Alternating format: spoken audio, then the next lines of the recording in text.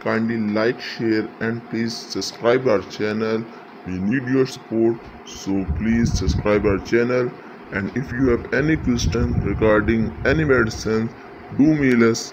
We will respond you. So please.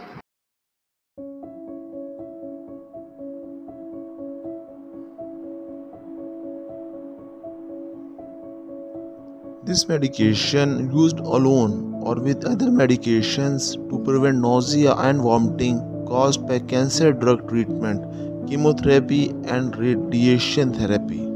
It is also used to prevent and treat nausea and vomiting after surgery. It works by blocking one of the body's natural substances that cause vomiting. How to use? To prevent nausea from chemotherapy, take this medication by mouth usually within 30 minutes before treatment begins. To prevent nausea from radiation treatment, take this medication by mouth 1 to 2 hours before the start of your treatment. To prevent nausea after surgery, take it by mouth 1 hour before the start of the surgery. Side effects Headache, lightheadedness, dizziness, rosiness, tiredness, and constipation. If any of these effects persist or worsen, tell your doctor or pharmacist promptly. Precautions Before taking this medication, tell your doctor or pharmacist if you are allergic to it or if you have any other allergies.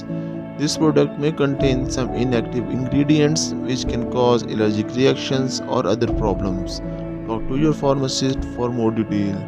Before using this medication, tell your doctor or pharmacist your medical history especially of irregular heartbeat, liver disease, stomach, or intestinal problems. This medication may make you dizzy or drowsy. Do not drive, use machinery, or do anything that needs alertness until you can do it safely. Limit alcoholic beverages. During pregnancy, this medication should be used only when clearly needed. Consult your doctor for more details. It is unknown if this drug passes into breast milk. Consult your doctor before breastfeeding.